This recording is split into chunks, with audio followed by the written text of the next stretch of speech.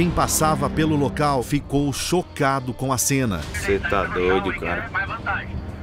Olha que bagaceira. Já tem gente. Ave Maria, olha. Olha aqui o que, que aconteceu com o outro carro. Olha aqui, ó. Meu Deus do céu. Pelo menos três pessoas perderam a vida em um gravíssimo acidente registrado na manhã de sábado, envolvendo vários veículos no quilômetro 935 da BR-163. A cena é chocante. Veículos ficaram completamente deformados em decorrência desse acidente. A informação que se obteve no local é que aqui na BR-163, no quilômetro 935, havia um pare-siga.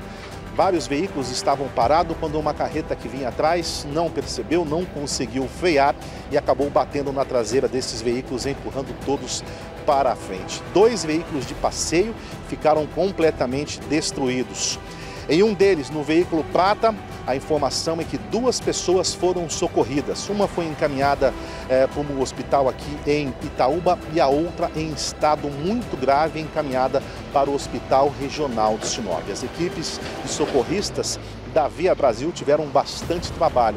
Já no veículo vermelho, a informação que se teve é preliminar, é que três pessoas estavam dentro do carro e acabaram perdendo a sua vida aqui no local, gente. A gente fala preliminar porque o carro ficou tão deformado que os socorristas, as equipes não conseguiram averiguar com certeza quantas pessoas estavam no interior desse carro, devido à forma que ele ficou. Por conta desse acidente, quilômetros de filas se formaram nos dois sentidos da BR-163. Inclusive um desvio é, utilizado aqui na lateral da rodovia, os veículos em sentido pare-siga né, acabam utilizando, as empresas é, que administram a rodovia fazem esse controle do trânsito aqui. Mais uma cena lamentável. Agora a equipe da Politec, a perícia, está no local para fazer o trabalho aí de perícia, ver as circunstâncias desse acidente, para assim depois as equipes trabalharem para fazer o desencarceramento dos corpos dessas vítimas aqui na BR-163. Uma das vítimas, em tom de desespero, ainda presa às ferragens, gravou um vídeo. Eu disse, o senhor disse que vai ficar tudo bem. E vai ficar, vai ficar, vai ficar. Amor, tá tudo bem, amor. Fala comigo, por favor, amor. Nós estamos aqui bem próximo do local onde o acidente aconteceu. A cena é realmente impressionante. O veículo vermelho, para vocês terem uma ideia, né, ficou comprimido. A parte da frente é a que está virada próximo ao caminhão. Tamanha a força dessa colisão, viu, gente? Já o veículo prateado aqui, onde as, as vítimas foram socorridas com vida, encaminhadas.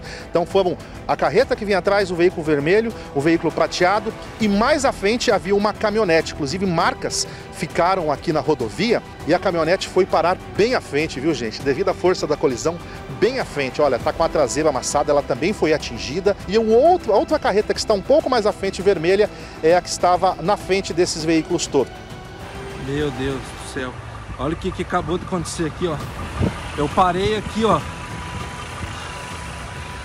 Atrás desse caminhão aqui. E daí, no engavetamento aqui, ó. Esse caminhão vermelho. Ai, meu Deus do céu.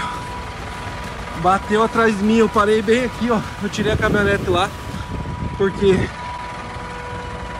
o caminhão aqui bateu atrás de mim e bateu atrás da caminhonete lá, ó. E olha aqui, ó, o outro carro atrás. O caminhão não parou. Olha aqui o que, que aconteceu com o outro carro. Olha aqui, ó. Meu Deus do céu. Situação lamentável, vários veículos aí foram atingidos e agora a perícia acaba de fazer esse trabalho, né? Para a equipe de resgate fazer esse desencarceramento, retirar os corpos dessas vítimas, ver com certeza quantas vítimas, porque só olhando aqui de fora o pessoal não conseguiu identificar. A informação preliminar é que seriam três vítimas. Então a equipe de resgate vai fazer a retirada desses corpos para a Politec, a perícia, é, fazer o trabalho final e também o ML recolher os corpos dessas vítimas e encaminharem para o IML de Sinop. Chegamos no local, aqui no BR-163, nas proximidades do município de Itaúba, verificamos que se tratava de um acidente de trânsito envolvendo é, cinco veículos, né? um acidente do tipo engavetamento. E dentro, no interior de um dos veículos que se envolveu no acidente, haviam é, três óbitos, né? Um, um, senhor, uma senhora e uma, e uma criança. sobre a, a, dinâmica que teria acontecido? O veículo perdeu o controle? É possível falar algo nesse sentido agora não? Então, geralmente no engavetamento, os carros ou estão transitando em menor velocidade e veio um, um veículo colisor e bate na traseira, ou os carros estão parados, né? E vem um veículo que, faz a, que, que efetua a colisão e, e colide na traseira, empurrando os veículos é, no sentido do deslocamento deles. É, foi informado também que havia um SIGPARE, né? Então, tudo indica que os veículos estavam parados e o veículo colisor chega e efetua a colisão na, na parte traseira, empurrando os veículos no sentido do deslocamento dele. O resgate aos corpos das vítimas do segundo veículo foi ainda mais complicado. Como a estrutura do carro foi completamente destruída, era quase impossível para as equipes de resgates saberem quantas pessoas estavam dentro do carro. Mas após cerca de três horas após o acidente, descobriu-se que haviam três pessoas no interior do veículo.